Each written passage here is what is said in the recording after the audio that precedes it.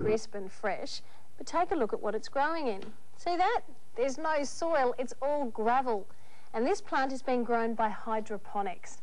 And hydroponics is soilless gardening. And it's the simplest way to be able to grow plants. And it's really easy, something you can do at home.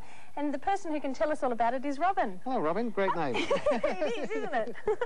well, Robin, first of all, hydro is water. Where, where's the ponics come from? Po ponics comes from ponos, meaning toil or work. Ah, so, so water. water working. Aha. Uh -huh. So if I want to set up my own little hydroponics garden in my bedroom, say, how do I do it? Well, you need a container.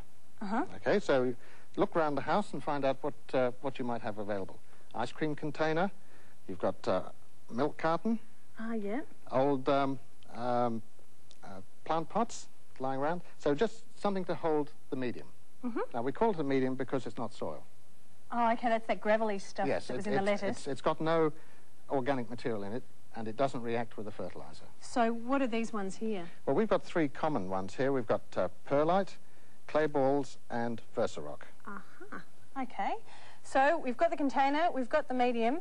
We then just put a seedling in there?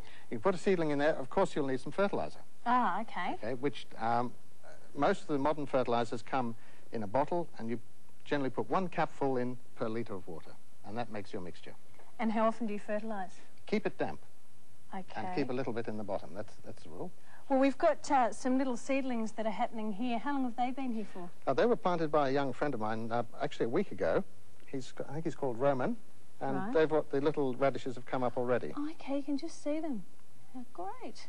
And of course, once they get a little bit larger, they'll have to be moved to another, to a larger container. Yeah, well, there's some other ones here. Our lettuce, of course. Now, mm. what's this? Well, some little plants get um, a bit cold at night, so they need a little um, little glass house. So you can use your ah. two-litre drink container cut the bottom out and uh, give yourself a little glass house.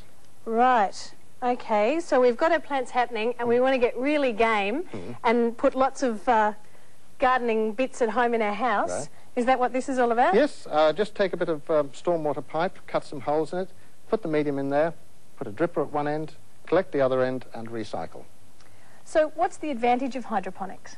Well, there's um, no, no weeds, there's no cultivation. Ah very few pests, and it's easy, dead simple. Right, and it's not hard to do? We can do it? Very easy, as you can see here. Just use all the bits and pieces you've got around the place. Fantastic. Well, Robin, thank you very much. Thank you. And Bye. if you'd like to learn more about hydroponics, you can get a book out of the library or go and visit your local gardener.